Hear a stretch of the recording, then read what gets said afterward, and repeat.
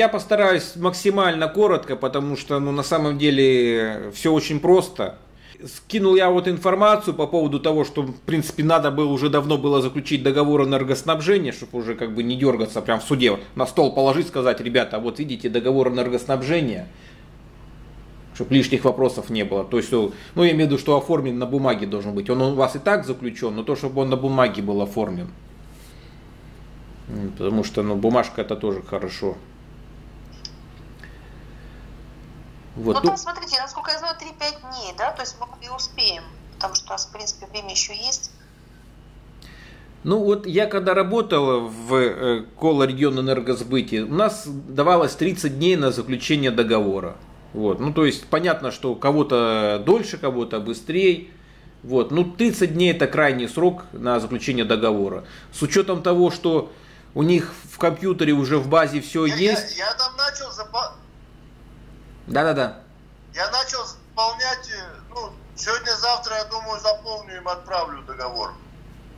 Да, там можете сильно не напрягаться, там что они говорят, что копию паспорта надо, копию ну, документов, подтверждающих право собственности на этот объект, ну куда, ну короче, на жилой дом.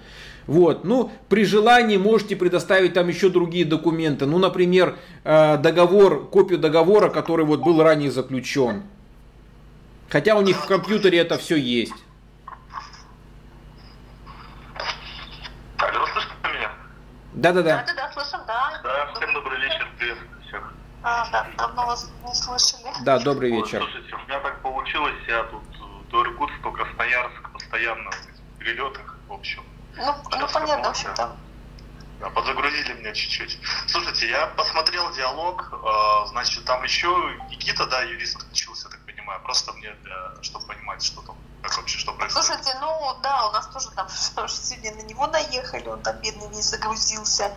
Я, я просто прослушал, я, я прослушал голосовое, вот, э, которое переслано, и услышал позицию, вот, из которой мы изначально выходили, да, это вот 1064 и 15, но я так понимаю, что он как бы вот эта позиция там, так сказать, 500 тысяч за электроэнергию, практически миллион за скважину, он вот эту позицию поддерживал, да, я так понимаю? Нет, нет, нет, он сначала ее поддерживал, а потом, когда попросили написать правовую позицию, почему-то он с нее слился. Ну, в общем, мы поговорили, что у нас, оказывается, точки все доступа есть, вот Владимир все-таки предлагает нам идти с этой позиции, что требует подключения точек доступа и возмещения ну, по всем остальным позициям, там, допустим, ну вот по трубам, там, фильтрам, ну, если что-то там еще потом всплывет, э, возмещение 64 то, что, да, там 64 тысячи или сколько там, вот этот ущерб. 1064, да-да-да, возмещение полностью ущерба, да, и подключение точек доступа, которые у нас есть, электричество, ну, да, водоснабжение.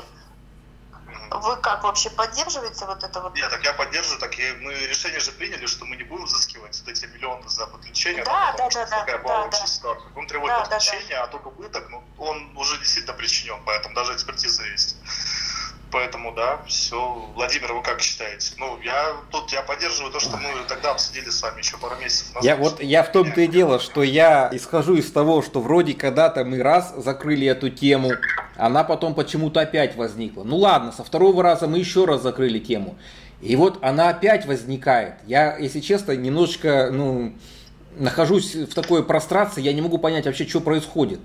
Мы каждый раз меняем позицию и возвращаемся к тому, что было изначально. В двух словах. В свое время построили дом, в свое время его подключили к электроснабжению.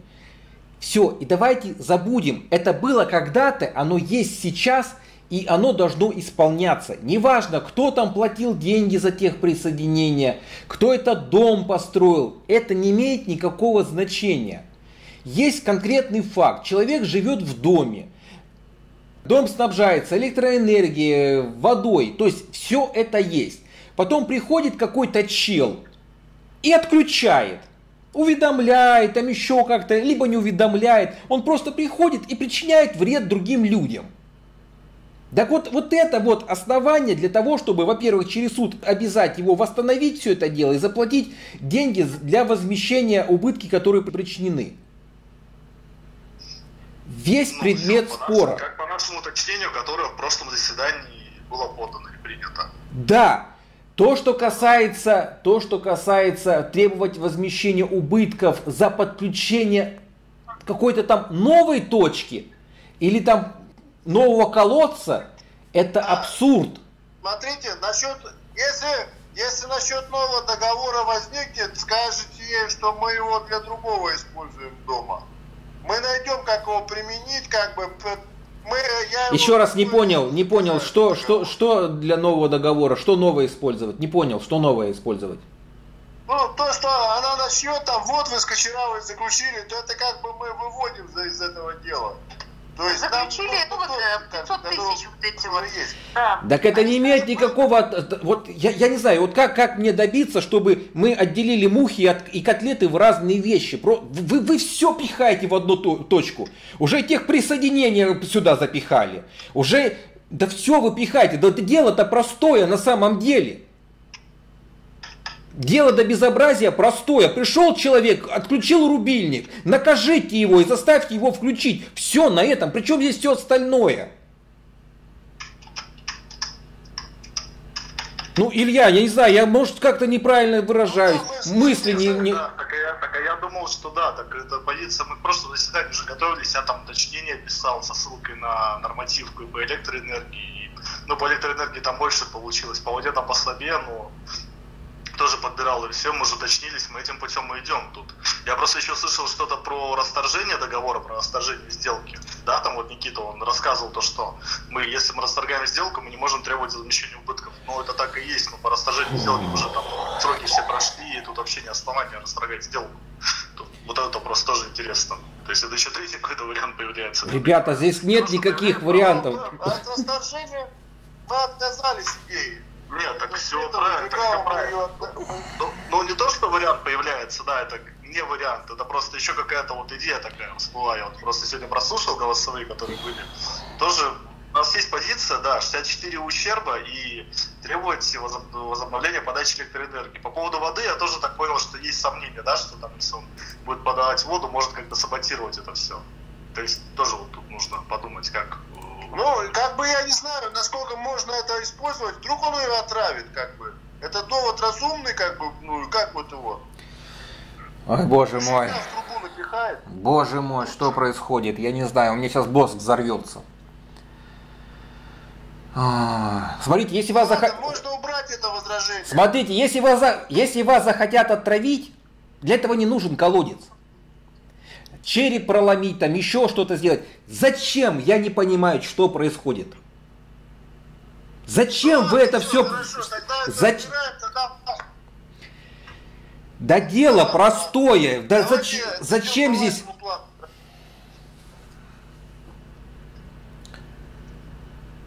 Алло. Тогда смотрите, вы пишете, у нас что получается, вы пишете позицию, Владимир, прикла- мы еще мои объяснения, потом вот эти приложения, вот. Об- Объяснение Ну, будет маленькое. нас Я его редактирую, да, просто убираю все и оставлю, в принципе, то, что я написала.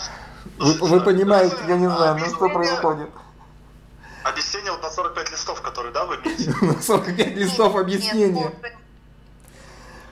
Да? Про эти объяснения речь?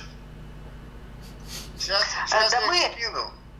Нет, Лев, смотри сюда. Мы их, во-первых, подождите секундочку, вы не смейтесь, а просто поймите человека. Он как бы э, не юрист, и в судах не бывает. Ну просто, как говорится, у человека накипело, и вот он выговаривает. Я это понимаю. Вы понимаете, что вы для себя это пишите. Смотрите, по- вот, пожалуйста, послушайте вот буквально секундочку. Вы напишите это все. Давайте мы почитаем, обсудим, посмеемся и тому подобное. Но не надо это в суд тащить. Я просто вас прошу, не надо это тащить в суд. Ну это вы будете уводить от, от предмета спора, уводить просто, понимаете, судья будет за это цепляться и будем мы обсуждать целыми часами вот эту ересь, извиняюсь за выражение. Мы не будем рассматривать договор энергоснабжения, там еще что-то. Мы будем заниматься какими-то непонятными разговорами. Но это лишнее для суда. Просто обязать восстановить водоснабжение электроснабжение, потому что отключено было без каких-то законных оснований. Восстановить то, что было до совершения этих действий, так называемые деликтные обязательства. В результате причинения вреда человек пришел, причинил вред, все остальное не имеет никакого отношения. Как вы покупали этот дом, какие у вас отношения семейные, кто там вас отравит, ребенок. Не имеет это никакого отношения.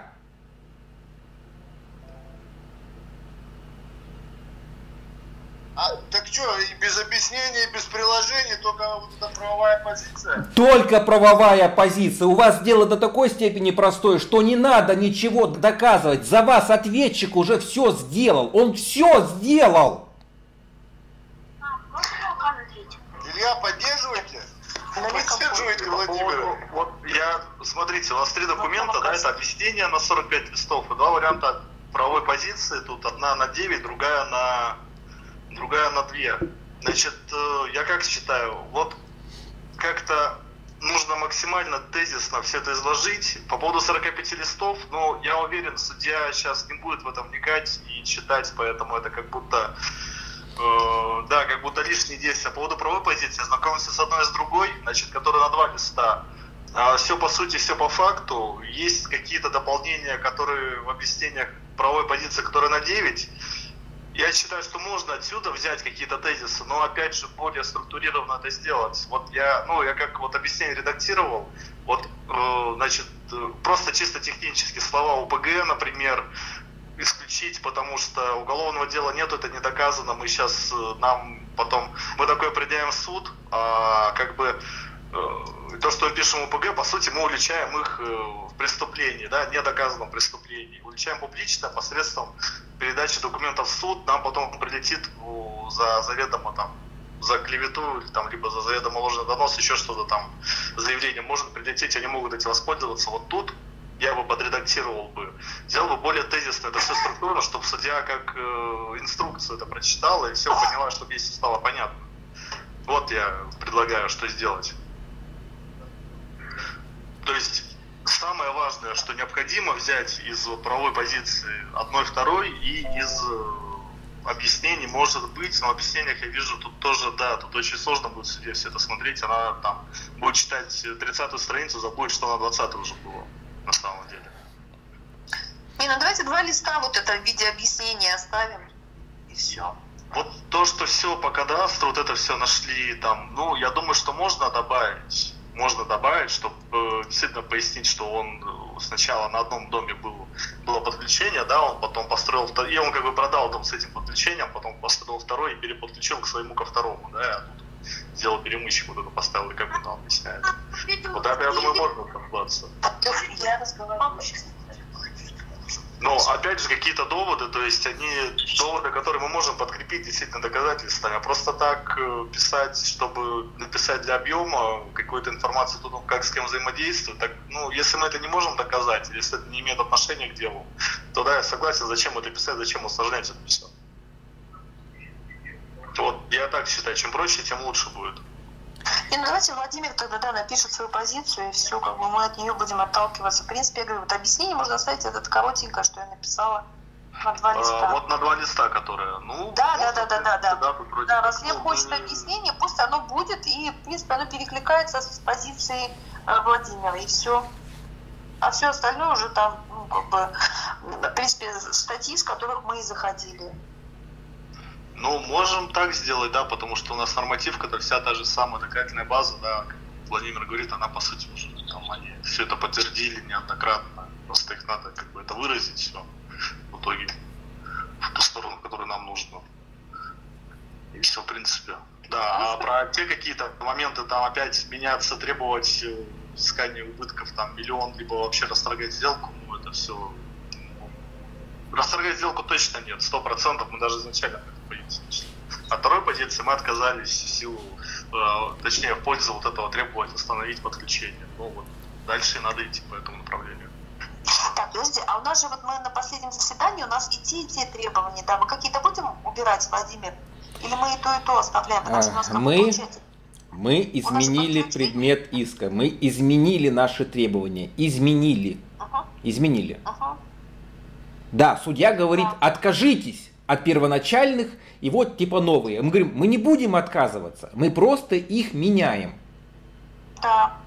Потому что вот смотрите, если бы мы отказались, а у вас сейчас уже появилась мысль, а давайте-ка мы еще раз их заявим. Так вот, если бы мы отказались в предыдущем судебном заседании, это уже бесповоротно, мы уже вернуться не можем никогда.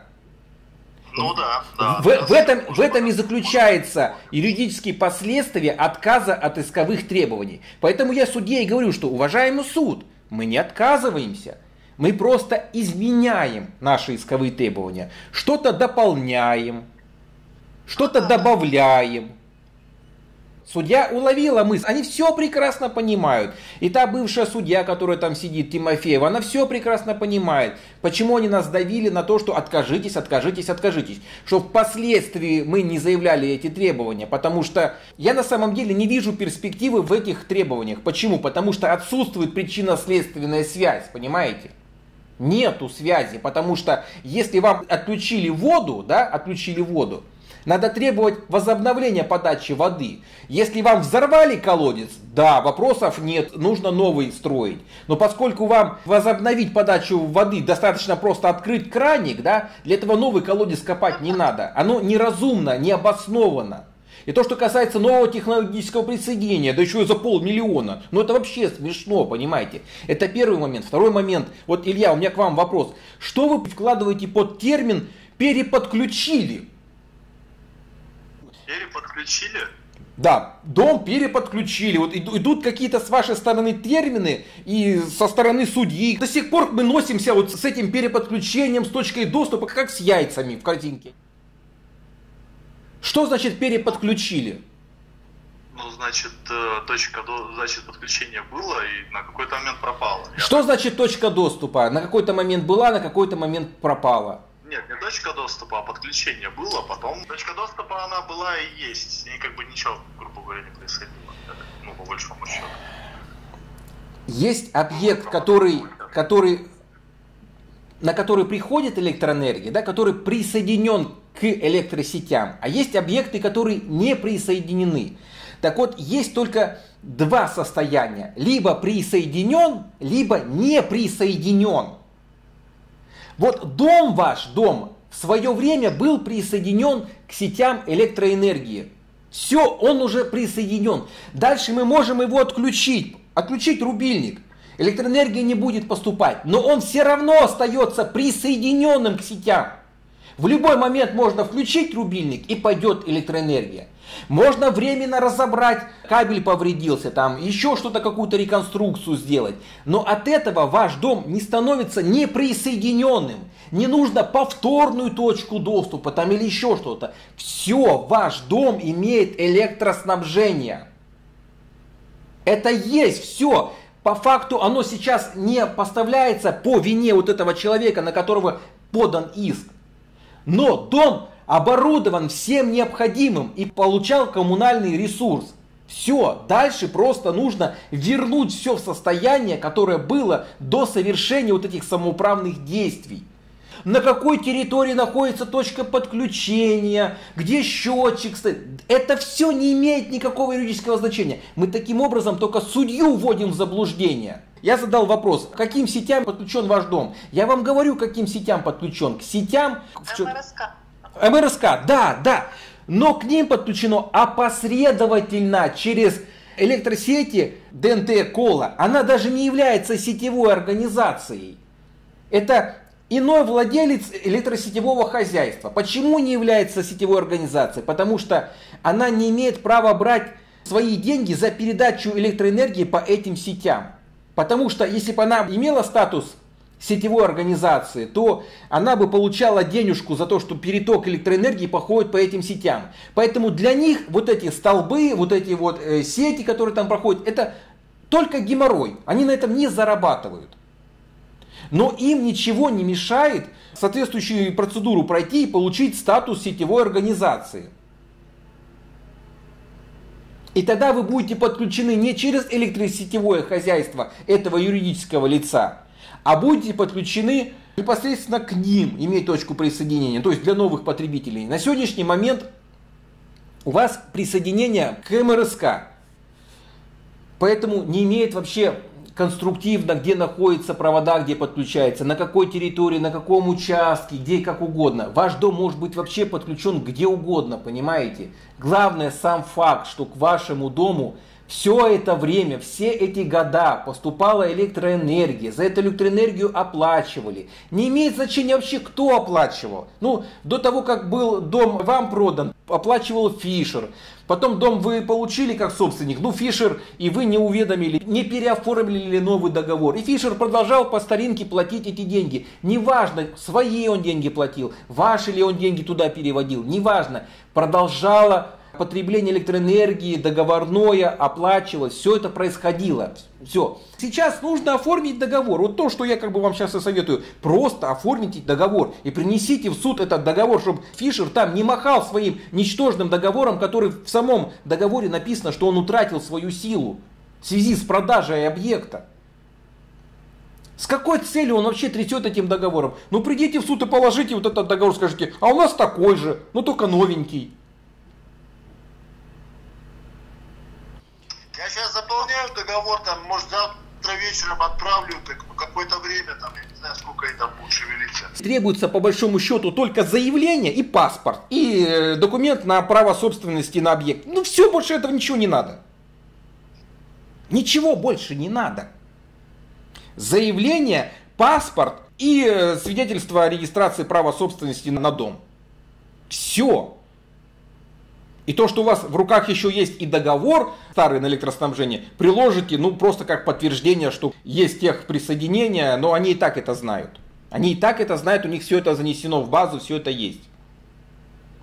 Они же сейчас продолжают выставлять счета по старому договору на старого собственника. Продолжается оплата электроэнергии. Все это продолжается.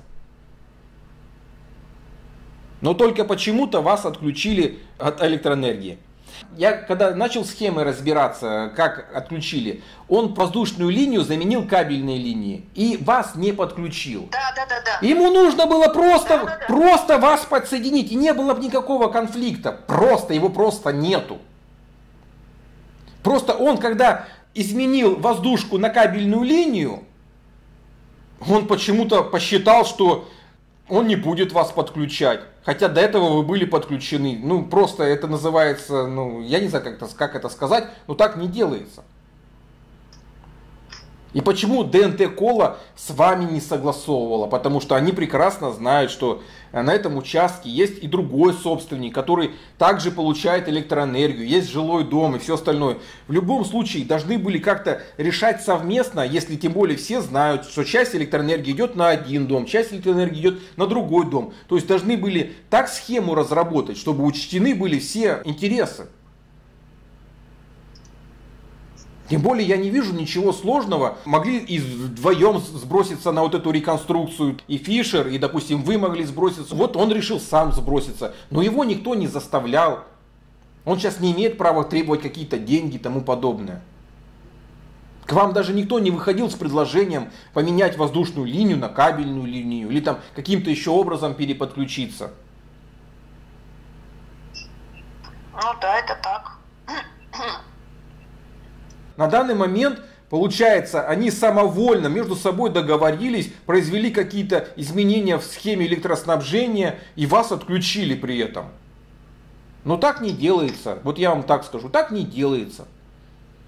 Может, если вы там сделали какую-то реконструкцию, ну, потребители, которые были запитаны по старой схеме, должны остаться и продолжать питание. Вы можете счетчики перенести, вы можете да, да все что угодно сделать, но права других третьих лиц не должны нарушаться при этом. Вот и весь предмет спора.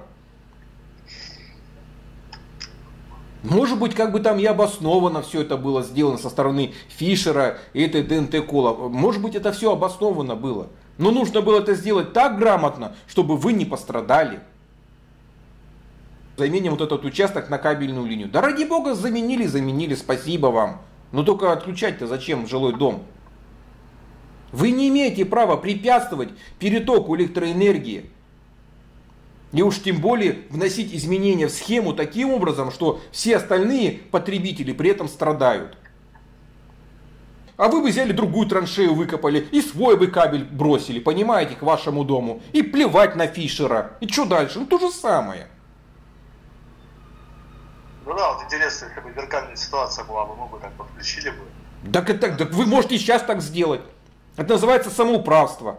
Подойти, рубануть кабель его, а по своему пустить, да и все. Ну я так хочу. Но он, он же так сделал. Он сделал именно так. Он просто взял вас, отключил и к себе бросил напрямую кабель. Все. И плевать ему на соседей, плевать ему на всех. Так вот, суд должен, должен вот это рассматривать, что дом имел электроснабжение, свидетели подтверждают, свидетели ответчика говорят, да, дом на протяжении многих лет имел электроснабжение, свет была, лампочка горела, водичкой пользовались там, все это было. Да, мы известили, что мы отключим на основании решения вот вашего Фишера, решения. Вот он так, он так решил, на основании решения. Уведомил, ну спасибо, уведомил.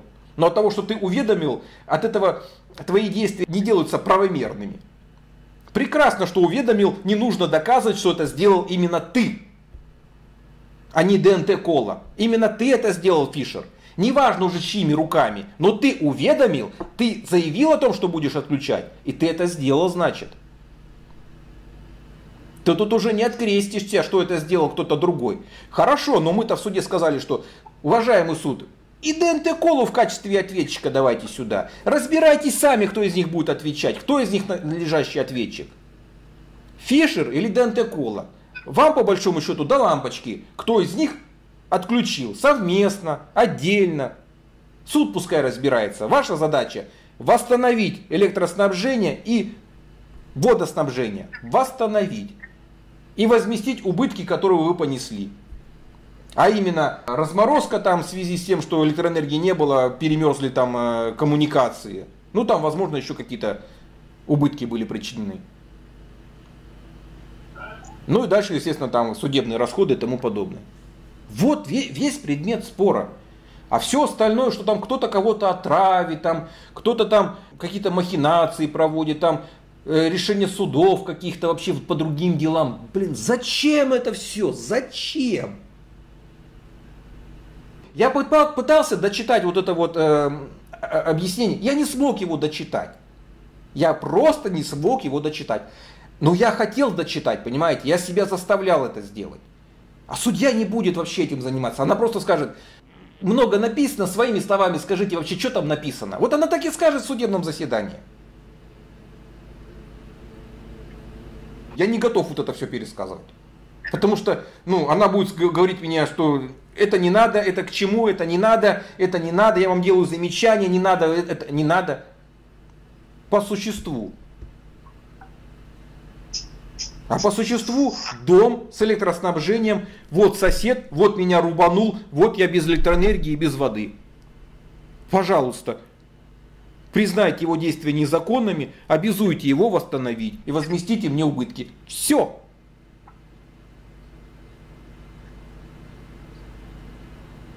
Ну, все понятно. Ну так, так понимаете, самое интересное, что я это уже третий раз говорю. Я третий раз вот это все объясняю. Я так думаю, что если сделать очередной перерыв, да, мы через месяц опять будем это обсуждать.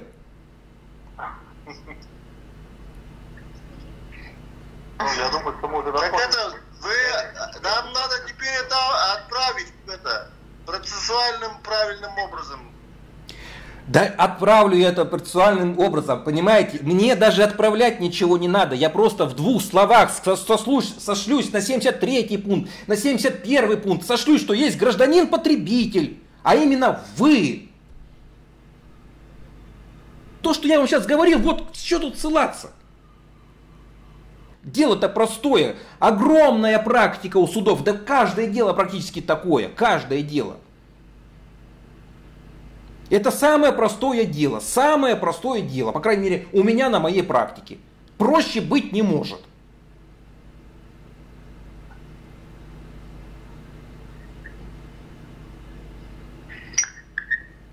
А, так, а Где, какой план действий? Ага. План действий такой. Я э, делаю бумажку вот эту вот, скидываю вам, То, что я сейчас говорил, закрепляю на, на, на бумаге, вы читаете и, и, и все, подписываете в суд, и суд выносит решение в нашу пользу. Все. Других вариантов здесь быть не может. Убираем, убираем полностью эмоции. Полностью убираем эмоции. Судья все равно ваши эмоции в решении не напишет. Это первый момент. Я ему скинула уже это объяснение на двух листах, вот что я до этого написала, ну, поменяла название объяснение. Коротенькое вот это вот, ну, с требованием в конце подключить электроэнергию и это, это надо в объяснении, можно указать? Или, или просто можно это оставить, написать, но это максимально нужно упростить для восприятия, для мозга. Прям вот... Давайте вот да, да, Давайте, да, пусть тогда Илья переделает, потому что да. Ну, может быть, да, я предлагаю, смотрите, э, Владимир, тогда вы будете готовить правую позицию именно, да, угу. к делу, заседания. Да. А я тогда, вот если вот те вот эти 45 страниц, плюс еще обе позиции, которые вы скинули, если там вот все, что вы хотели сказать, оно все там есть, а я давайте тогда в свою очередь сяду вот это все проработаю, потому что если вы хотите что-то сказать, я это посмотрю и там уменьшу это до там, трех-четырех страниц, мы можем это в принципе добавить, если вы хотите высказаться. Но тоже по существу. Опять же, если есть это у меня, хотя с другой стороны, как будто Нет, правопозиция, она перекрывает объяснение на самом деле. Я, я предлагаю, вот, если вы хотите рациональное зерно, то взять вот из приложений то есть и там просто, если что-то надо будет, мне скажете, я еще поясню. Приложение, там, в принципе, приложение да. к объяснениям? Э, да-да-да, приложение вот к объяснению были, ну, там давайте, 5, да, там можно вот взять вот э, с кадастровыми номерами, э, вот, и адресами участка, вот это вы имеете в виду, да? Это было бы интересно показать судье, если мы можем это красиво показать. Только при этом условии. Но если это трудно показать, если это трудно тем более доказать, и оно не имеет никакого отношения к сути нашего спора, тогда лучше и это не показывать. Не усложнять. Тогда я, да, я вот эти объяснения, я тогда прочитаю, посмотрю, что можно выбрать оттуда и обсудим тогда. Если можно это сделать, я распишу, что где можно выделить, как это компоновать и представим тогда красиво, там, минимум слов просто по факту, по сути. Я за то, чтобы было минимум слов. Сделали какое-то предложение, рассмотреть его так, чтобы его сделать как можно короче, как можно проще. Вот не надо писать, что я, запятая, там, Иванов Иван Иванович, запятая, то-то, то. Да зачем вот это вступление, целый абзац? Не, понятно, не, понятно, да, что не будет я там такой-то, такой Да, целый абзац, понимаете? Да, просто по факту там... Сразу, сразу, возражение. И сразу, пункт один, тын-тын-тын, пункт два. Четко, четко, максимально четко. Без лишних Все, вот этих красивых оборотов.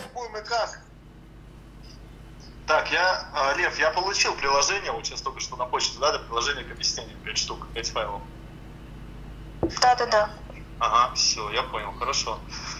Так, нам нужно определиться, когда позицию, все эти дела нужно подписывать и отправлять, и как будем отправлять, и сроки надо значит, чтобы не. Судья говорила, что типа за 3-4 за дня, как бы заранее все это направьте.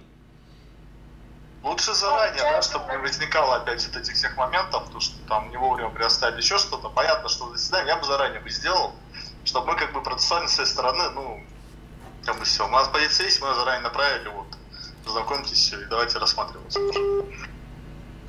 Правовую позицию не обязательно прям вестись на поводу у судьи, заранее показывать свои карты ответчику.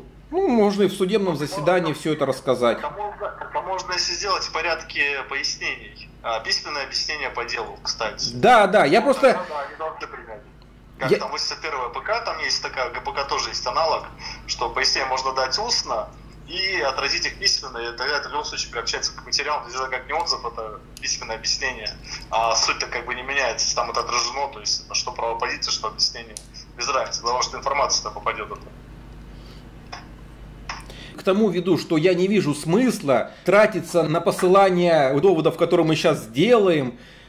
Ну мы что, им будем еще юридическую консультацию, может, оказывать? Наша позиция в суде будет озвучена с точки зрения права.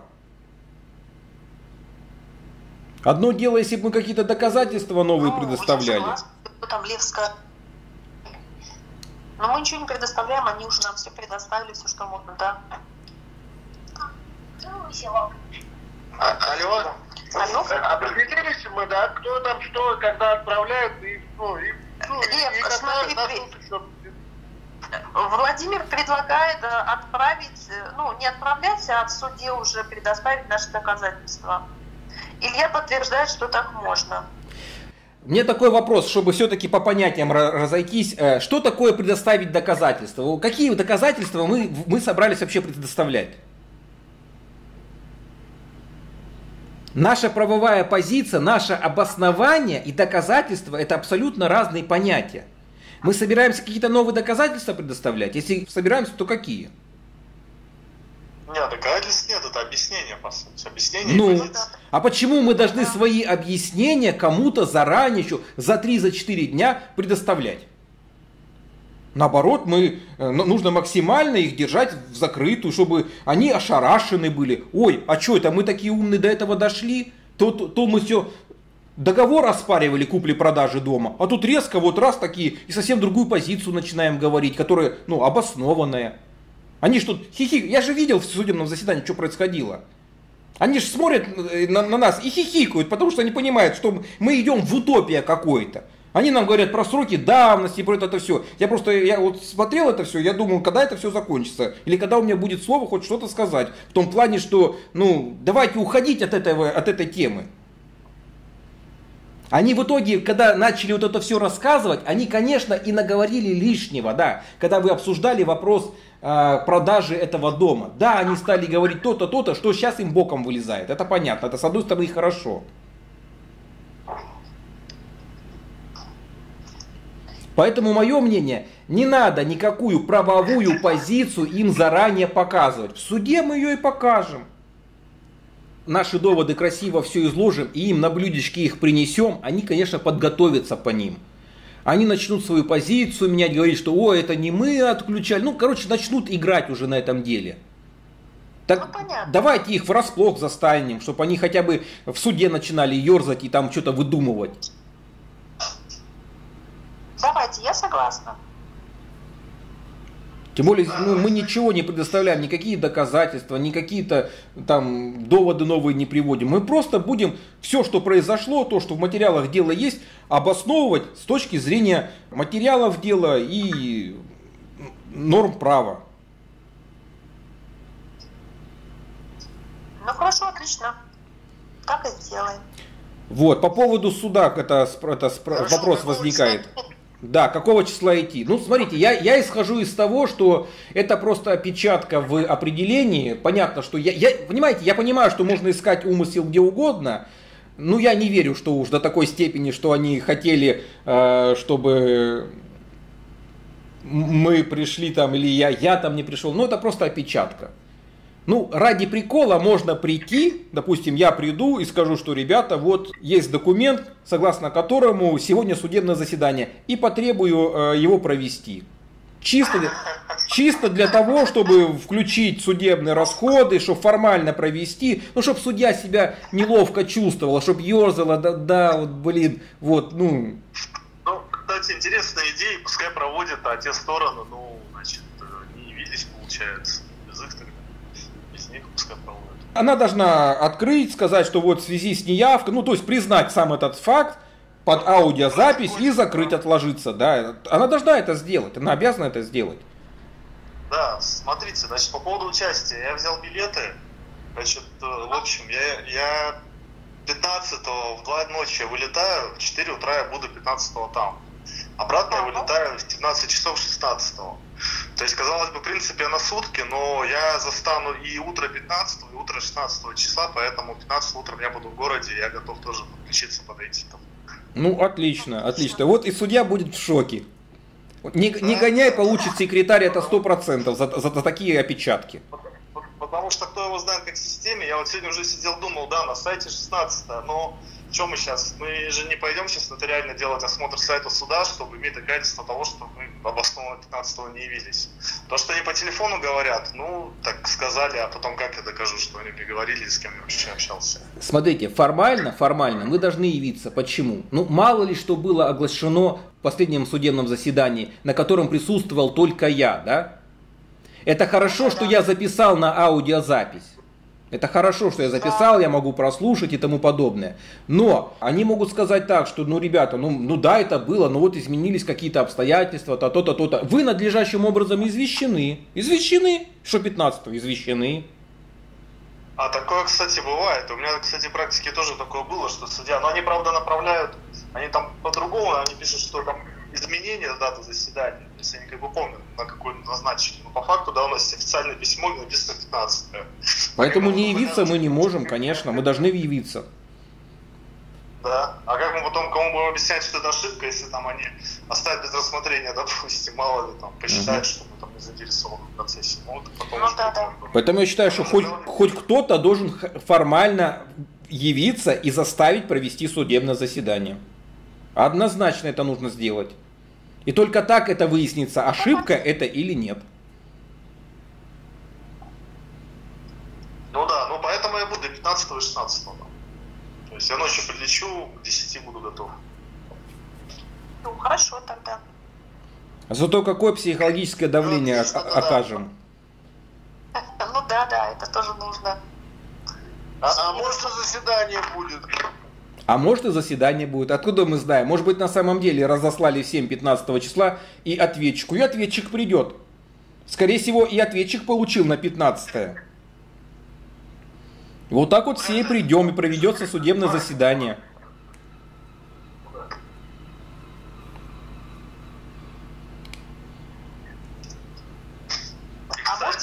и 16 нет, такого не бывает? Нет, так не может быть. Не может наперед сразу как бы два дня заранее назначаться. Явно, что это будет...